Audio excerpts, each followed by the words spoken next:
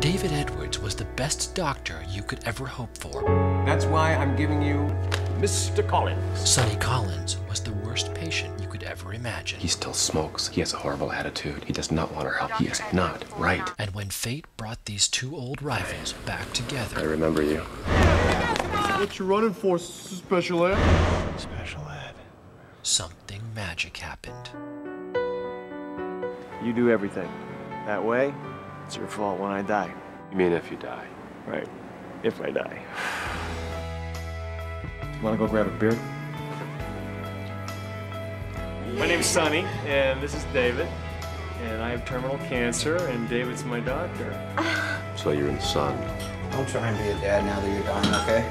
I'm pretty sure he hates my guts.